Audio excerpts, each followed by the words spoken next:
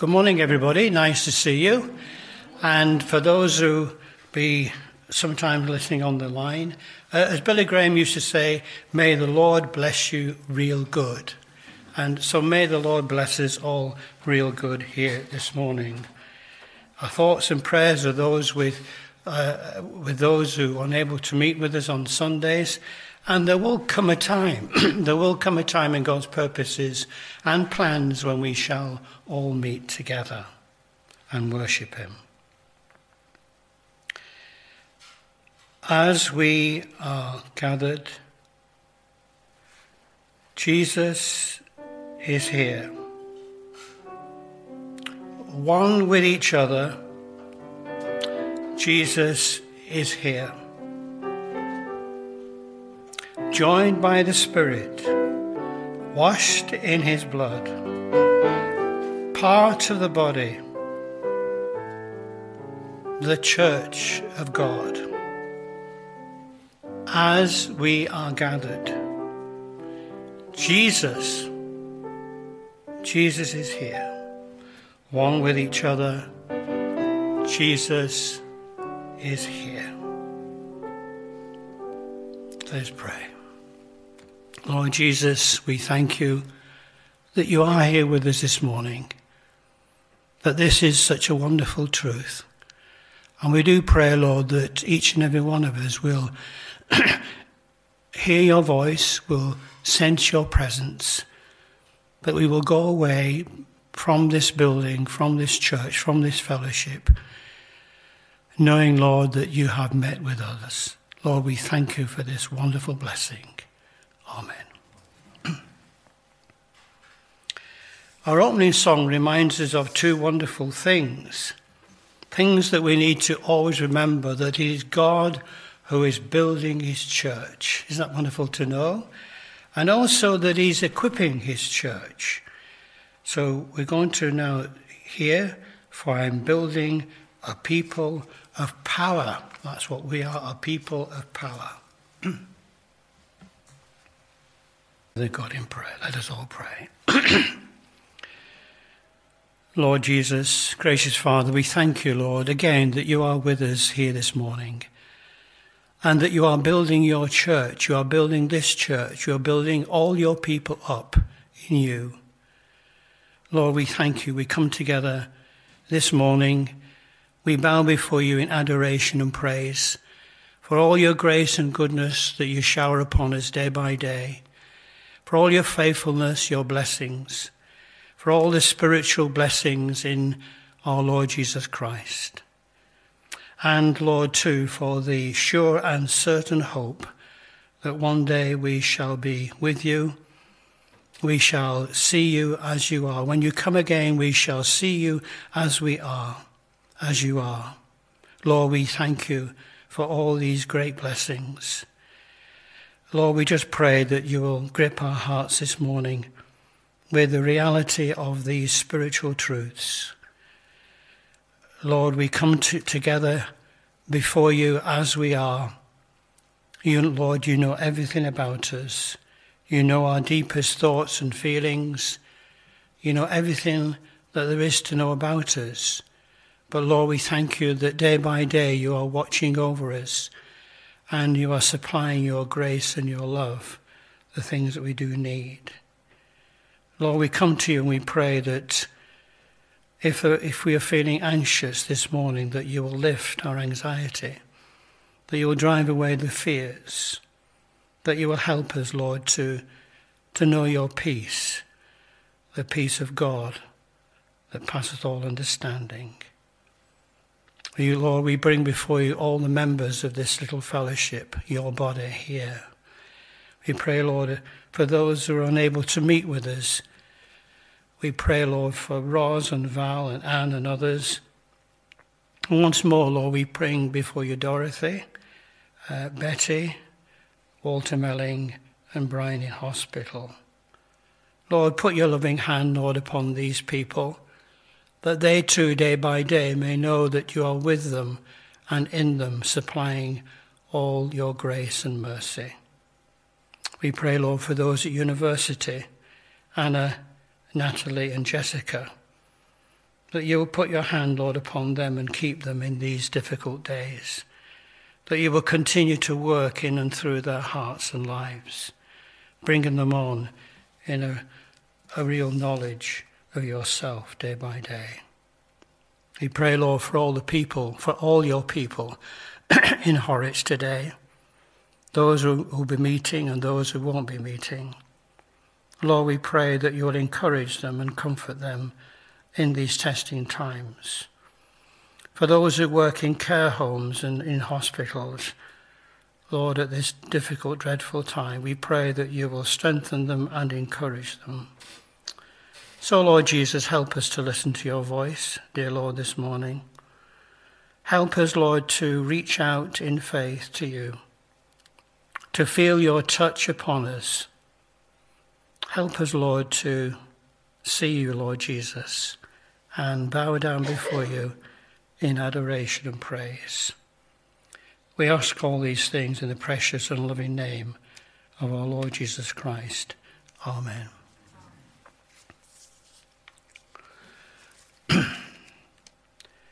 The love of God is broader and wider than we can ever imagine. And this next song that can be played by Margaret now describes something of this wonderful love. We will never get our hands, our, our hearts, and our minds around the, the wonderful love that we have in Christ Jesus. It's such love, it's, it's pure as the whitest snow. It's love that st- uh, stills our restlessness. It's a love that comes from all eternity and will stretch to all eternity. It's such love.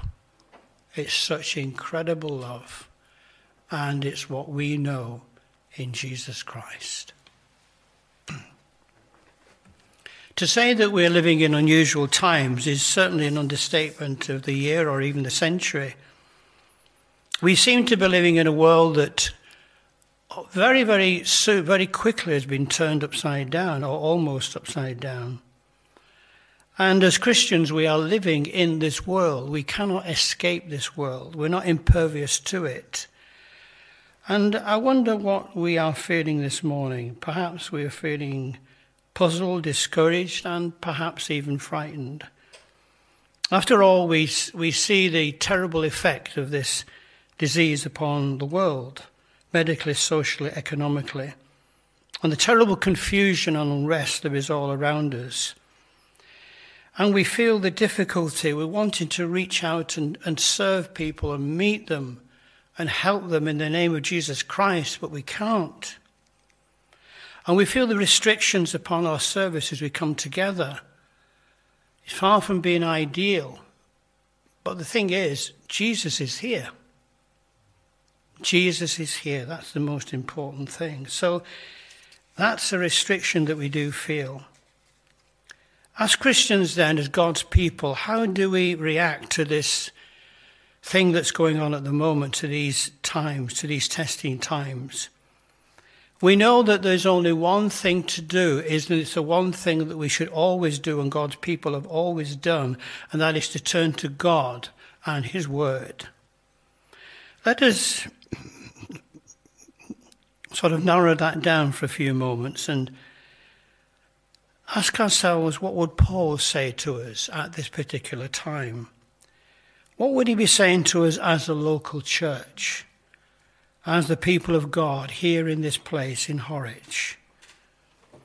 I think he would say something like this The first thing to understand is who or what you are in Christ Jesus, and rest and rejoice in your, in your relationship to Jesus Christ. I'll say that again. We need to understand and grasp in our hearts and minds who and what we are in God's sight and to rest and to rejoice in our relationship to Jesus Christ. We're going to turn very briefly to Ephesians this morning. It reads like a, a sermon with the greatest and the widest theme of all for a Christian sermon the eternal purpose of God, which God is fulfilling through his Son, Jesus Christ, and working through the church. This sounds rather complicated and abstract, but Paul here, in a wonderful way, he clarifies and makes it much easier for us to understand. There's a program on telly that's, that's headed, What Do You Think You Are? You might have seen it a few times. Um, what's interesting is the words think you are. Because what happens almost in every occasion, people go along on the program and they have some idea of the family that they came from. Very, very little or perhaps no idea of their family history only to be surprised and shocked and even saddened by what they discover.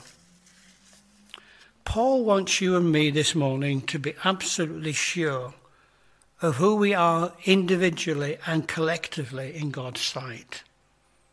Paul was thrilled and overwhelmed by what God was doing in and through Jesus Christ.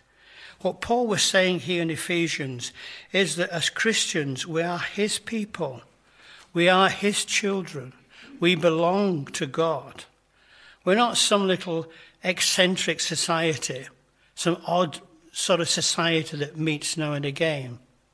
That might be what people think we are. But we are the people of God. We belong to him.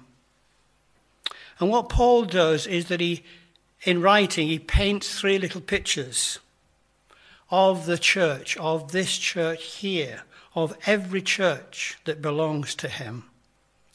At the same time, he says, it's a mystery. It's a mystery. It's something that we'll never, ever get our heads and hearts round. But let us look at these three little pictures here in Ephesians this morning because each one has a precious insight into our relationship to Jesus Christ. First of all, he says that we here, the church that we belong to, is like a body.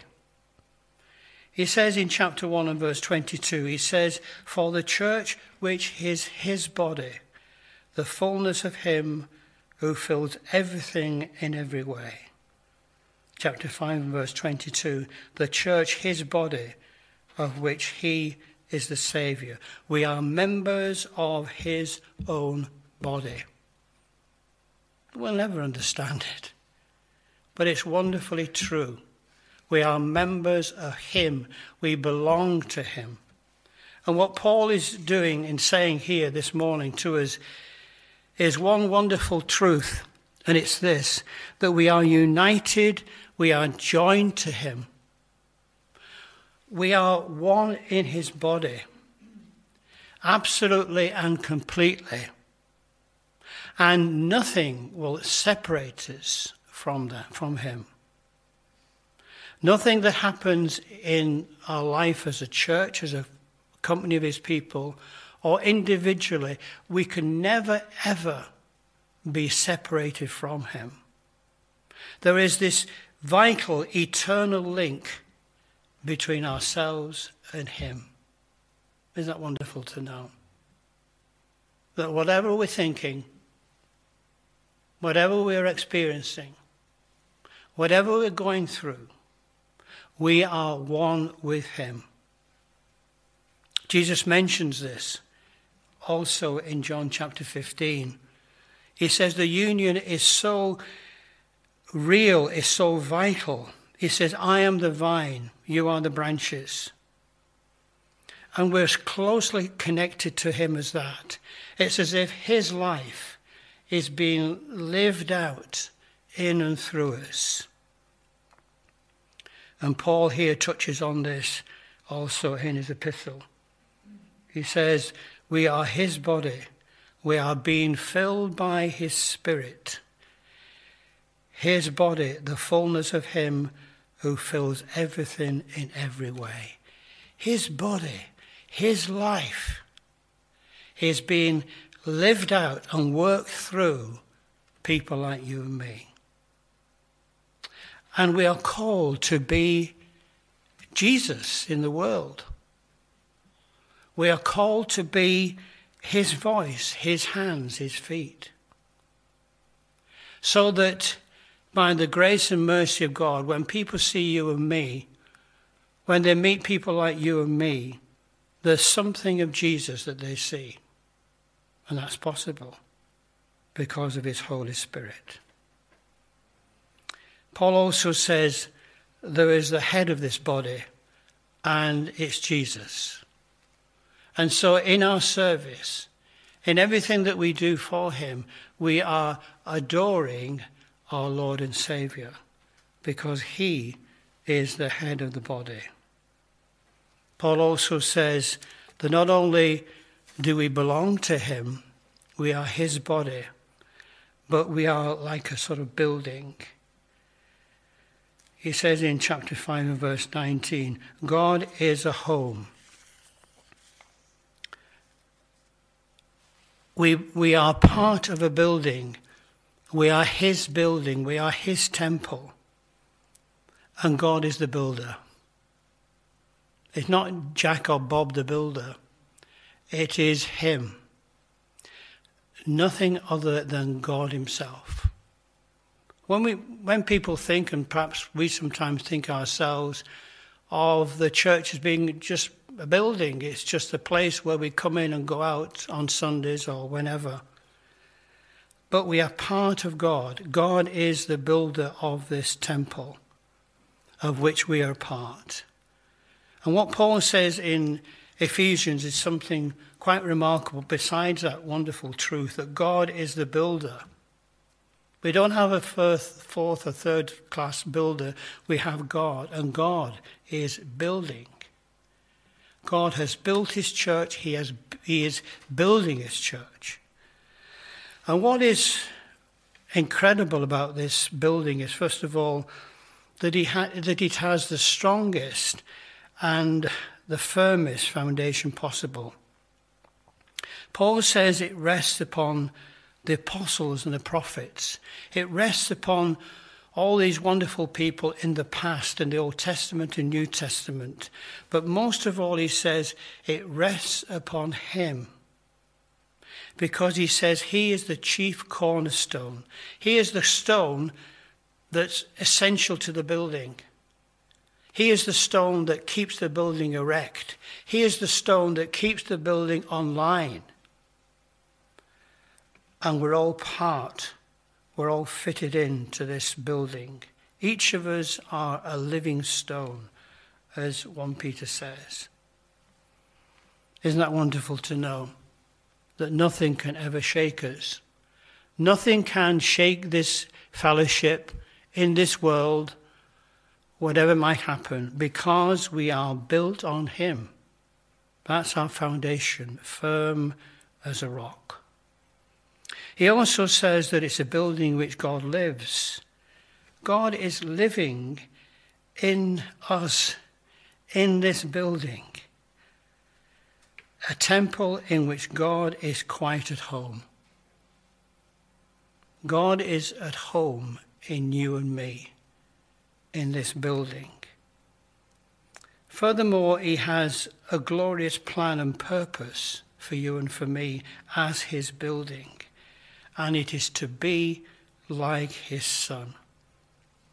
In verse 21 of, chapter 2, he says, It rises to become a holy temple in the Lord. Isn't that wonderful to know that God is so wonderful? Jesus is so precious to us that what He's doing is that He's working in and through us. And He's shaping us day by day into His likeness.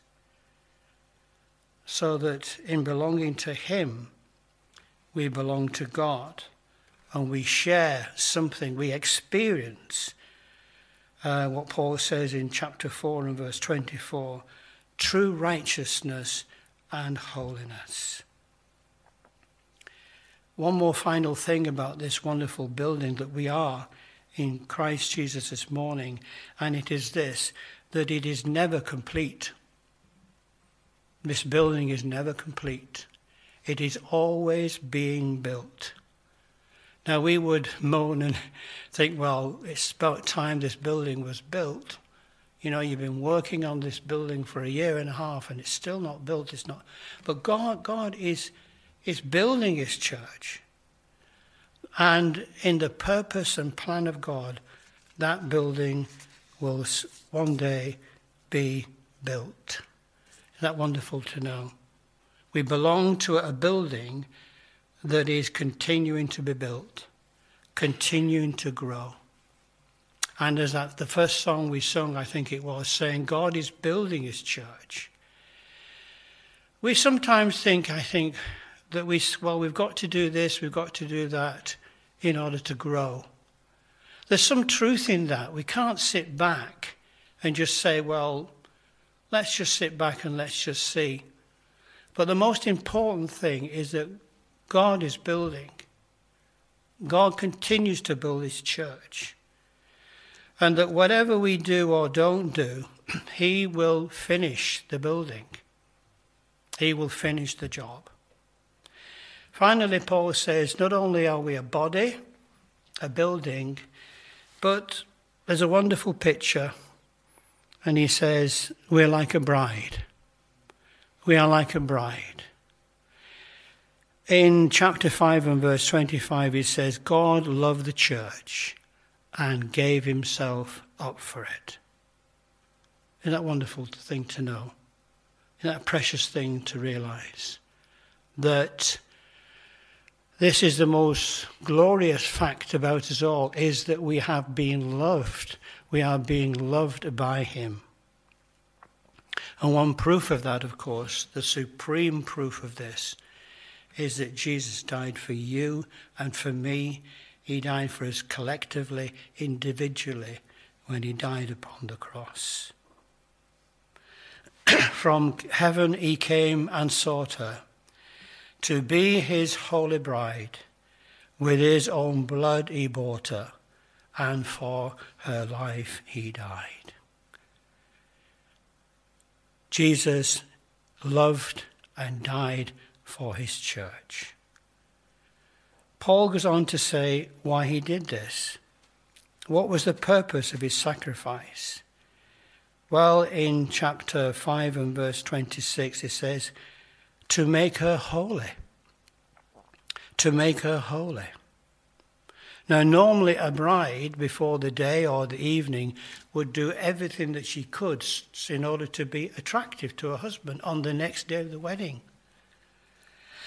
she would put on the face cream and all the rest of it and try to new hair, hair done and all the rest of it to make her look really attractive on the day of the wedding. But what Paul says here is that as far as the church is concerned, God is the bridegroom and he beautifies the bride. It's he who makes the bride attractive, presentable. And that's the most wonderful thing, isn't it? That's a wonderful thing, is that God is so working in and through us that we become in his sight beautiful and attractive. So that we're out without stain and wrinkle or any blemish. As Paul says, we look beautiful in his sight. He is doing something for us that we could never ever do for ourselves. He is making him, making us like himself. So this is Paul's vision for you and for me. This is who or, who or what we are in God's sight. That we belong to Him. That we can never ever be separated from Him. That the life of God is working in and through us. That we're filled by Him. That He lives inside us. We are His building. And we are a bride and He's making us more attractive and beautiful by the day in order that we might be like Him. Now, you might think that Paul was writing to perfect people. You might think, well, were these people up to it? Well, the answer is no. Because in the second part of Ephesians, Paul makes it quite clear to these people and to us here this morning that if we are His church, His body, His people, then this is how we are meant to be. This is how we are meant to live. Paul says, in effect, this is what you are in God's sight. Now live up to what God wants you to be. He says in chapter 5, verse 8, you are, you are light in the Lord. Live as children of the light. And the sadness, and it's a fact, of course, throughout Christian history, is that as Christians, as His people, we have not lived up to being the body, the building, the bride.